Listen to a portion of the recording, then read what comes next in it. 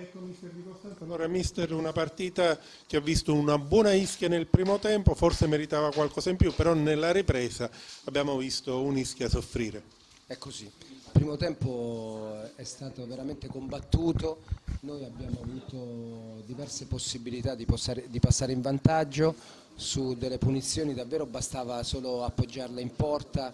del, delle azioni veloci soprattutto di, di, del nostro Canu. Eh, il secondo tempo effettivamente noi siamo calati ehm, e comunque non abbiamo concesso quasi niente agli avversari se non un colpo di testa di Tavares eh, su calcio d'angolo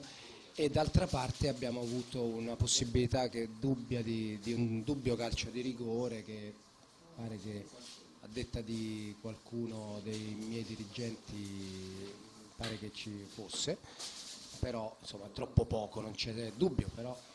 il fatto che eh, la squadra comunque abbia mantenuto eh, con sostanza il campo anche il secondo tempo, insomma senza subire, questo già è un, è un buon viatico verso eh, l'obiettivo di una squadra che sappiamo, sappiamo benissimo si deve salvare. Mister, la condizione atletica spesso dell'Ischia è andata sotto accusa, oggi pure secondo me nella ripresa in, sulle gambe non c'eravamo troppo. Così è vero onestamente che il campo è pesante, nonostante la bella giornata che ci ha aiutato, però vi garantisco che,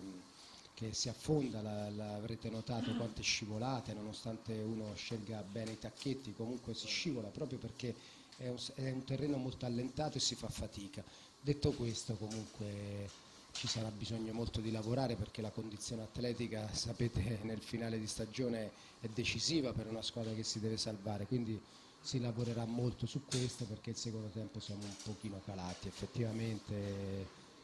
abbiamo concesso un pochino il, questo possesso palla al Messina ehm, ma come dicevo prima comunque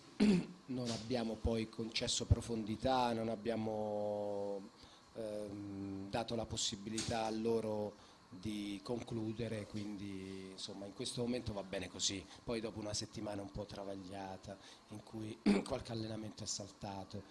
eh, devo dire che la squadra ha mantenuto e, e siamo, siamo, comunque contenti a tre quarti diciamo dai. Siamo anche in, in, collegamento diretto con Messina, un suo giudizio su questo Messina che lei ha allenato qualche mese fa. Beh sì, certo, forse inizialmente eh, sono stati fatti dei risultati straordinari eh, che magari hanno illuso qualcuno, ma eh, il campionato del Messina invece è questo qui, è un campionato buono in cui non, non, si può essere competitivi ai massimi livelli perché ci sono squadre come il Lecce, il Benevento, la Casertana e, e qualcun'altra, lo stesso Matera, insomma ci sono quelle 4-5 squadre che hanno qualcosa in più, il Foggia, ma il Messina sta facendo un ottimo campionato, oggi è venuto a fare un, una buona partita, non gli abbiamo concesso niente, ma diciamo come possesso palla è stata superiore a noi penso che non avrà problemi a salvarsi tranquillamente, a fare questo buon campionato, a continuare a fare questo. Ma poi eh, chissà, magari se riescono a, a, mantenersi a una certa distanza dai playoff eh, può darsi che ritorna quel momento favorevole che c'è stato a inizio anno e addirittura possono ambire ai playoff, ma comunque già quello che stanno facendo è un ottimo, un ottimo lavoro. Bisogna muoversi sul calciomercato, però adesso col Martina Franca non ci sarà Canute. Eh sì, purtroppo ha eh, subito un'ammonizione veramente banale che ci priverà di, di questo giocatore che è ispirato e vabbè, insomma, eh, faremo di necessità virtù. Eh,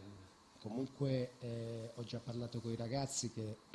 oggi è stato un primo passo in cui la squadra ha dimostrato di comunque voler lottare, di, di giocare come la squadra che si deve salvare con grande attenzione. E, e domenica però bisogna, bisogna, continuare questo percorso sapendo che c'è veramente una squadra di fronte che è una diretta concorrente, quindi eh, faremo a meno di Canute ma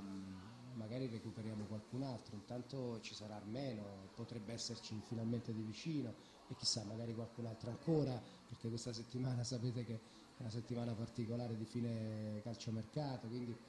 intanto che si è creato questo spirito di gruppo, nonostante un po' una settimana travagliata, eh, secondo me è un fatto molto positivo che ci fa ben sperare a partire dalla prossima eh, trasferta che eh, giochiamo contro una squadra dove bisogna far punti. Grazie mister.